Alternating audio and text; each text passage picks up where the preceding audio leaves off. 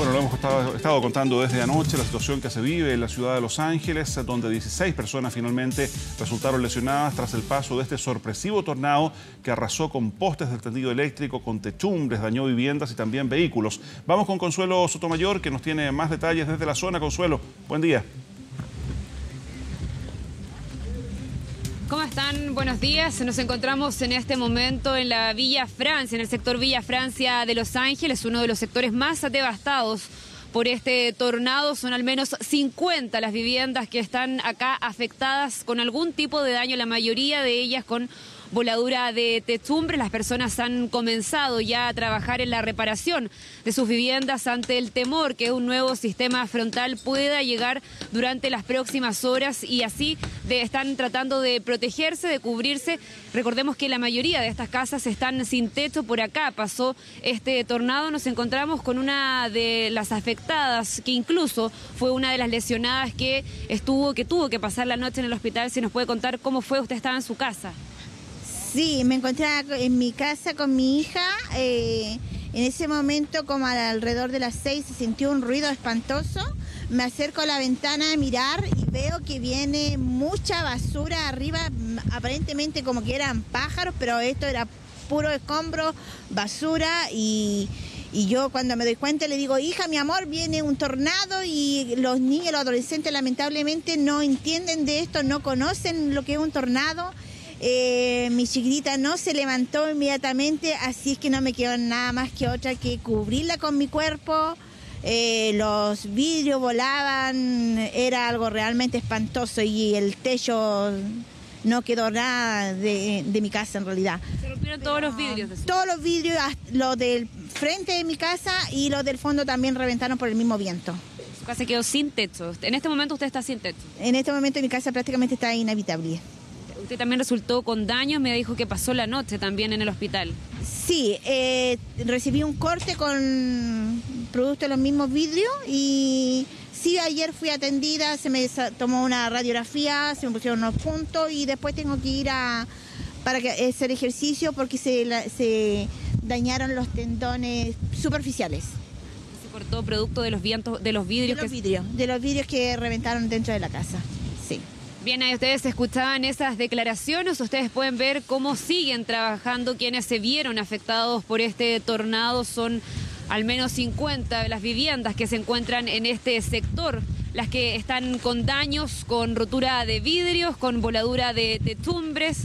Todos los vecinos ya comienzan a trabajar en sus casas para poder protegerlas. Vamos a ver si podemos conversar con otro de los vecinos que resultó bastante afectado. Todos los vidrios rotos de su casa. Hola. Cuéntenos, está trabajando, me imagino, por temor a las lluvias. Sí, sí, vinieron unos compañeros de trabajo a cambiarme los vidrios, van a cambiar el techo que tuvo que anoche colocar nylon, no, todo nylon porque se me mojaron las camas, todo. Que la pura embarrada, ¿no? ¿Usted estaba en su casa? Sí, con mi hija menor. Estábamos los dos aquí y, arriba no quedó todo. Del el cañón, pues este cañón, el puro viento me dobló ese cañón, me botó todo el techo. Y en la noche con un vecino colocando nylon para que no se me mojaran las cosas. Pues, igual se mojaron las camas, el, cielo raso cayó por el peso del agua, todo así que harto que, que arreglar. ¿Cómo pasaron la noche? ¿Durmieron acá? Sí, nos quedamos aquí todos en la casa aquí en la casa porque vinieron vecinos a ofrecernos quedarlo en las casas de ellos, que no había pasado nada, pero preferimos quedarlo acá por, por cuidar también.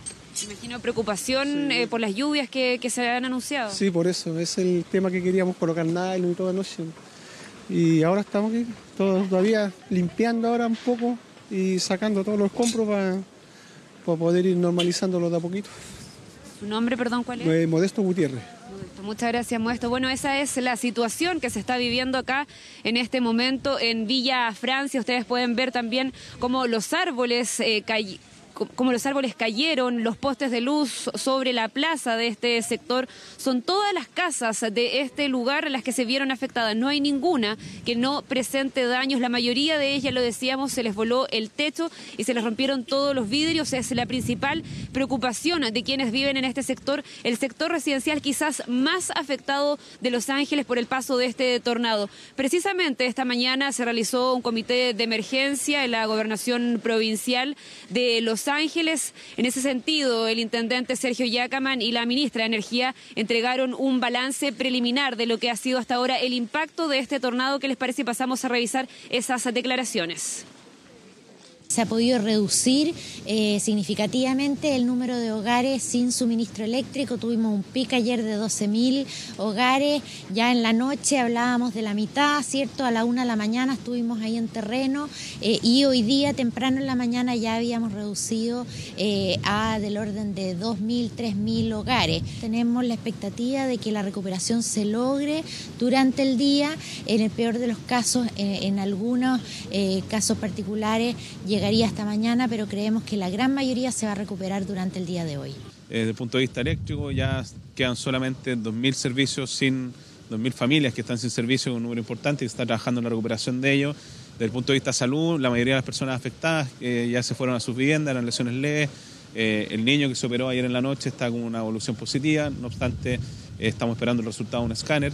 Lo que viene ahora es que en terreno se levanta un catastro a través de una ficha básica de emergencia, la FIDE, eh, se entrega eso al organismo correspondiente, un informe consolidado de las fichas, y con eso se activan recursos para colaborar con la familia.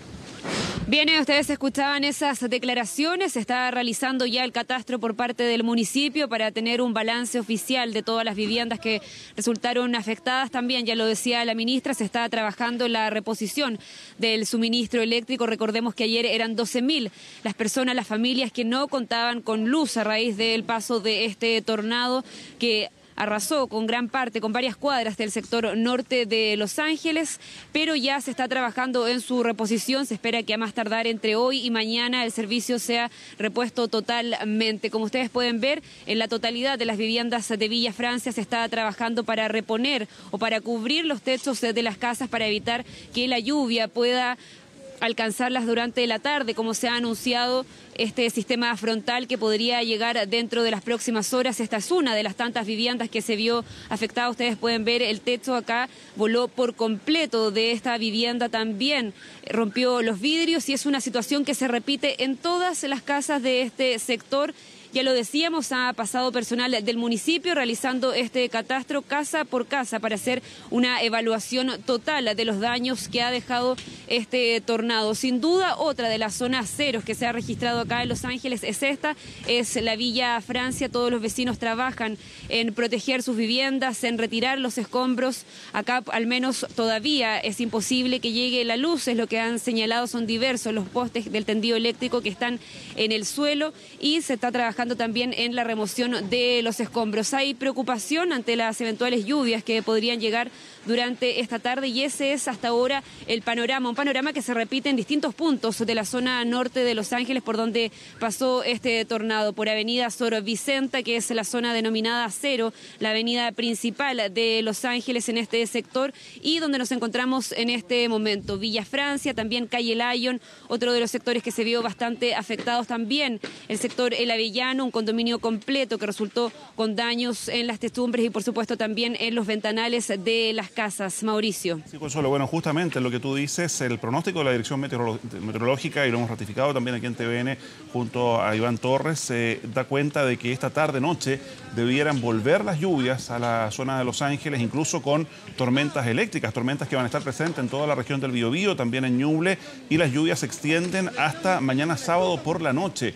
Eh, entiendo que también además de la ministra de Energía, quien escuchábamos, eh, va el eh, ministro de Desarrollo Social con algo de ayuda, digamos, ayuda inmediata para las familias más afectadas al margen de lo que está haciendo allí el municipio de Los Ángeles. Pero teníamos reportes también que para la emergencia, digamos, plástico y algunos otros, otros elementos se estaban agotando del, del comercio de la zona allí, ¿no? Sí, es precisamente lo que nos han comentado. Las personas que se han visto afectadas han llegado a distintos centros comerciales a abastecerse de plástico, de madera, para poder recubrir sus testumbres y nos han dicho que hacer un llamado, no hay material, se ha acabado De hecho, ayer en la noche ya no quedaba plástico en uno de los principales centros de abastecimiento de este tipo de materiales acá en Los Ángeles. Recordemos que esta zona está con alerta amarilla precisamente para facilitar la llegada de recursos y de materiales para que las personas puedan recubrir sus viviendas. Se espera que durante las próximas horas llegue ayuda también, más materiales para que ellos puedan seguir trabajando. Hay temor y mucha preocupación de este sistema frontal que ya ha sido pronosticado por las lluvias precisamente, sus camas están al descubierto, sus casas están desprovistas, incluso durante la mañana cayeron algunas gotas y eso motivó aún más y aceleró aún más el trabajo de quienes se encuentran en este sector. Recordemos que está trabajando personal del municipio, también del gobierno en toda esta zona y no da abasto acá. Ya ha llegado algo de ayuda, pero no es la suficiente para poder seguir cubriendo sus techumbres en este sector, el sector de Villa Francia, donde nos encontramos en este momento. Así es, la empresa eléctrica CGE, que es la empresa que distribuye la energía ahí en, la zona, esta mañana daba cuenta de que se ha avanzado la reposición del suministro eléctrico. Quedan a las 7 de la mañana, es el último informe, 1.558 clientes sin energía eléctrica, pero dado lo complejo de la reparación, especialmente en estas cuadras por donde avanzó el tornado, eh, la energía podría reponerse, dicen, recién para mañana, ¿no?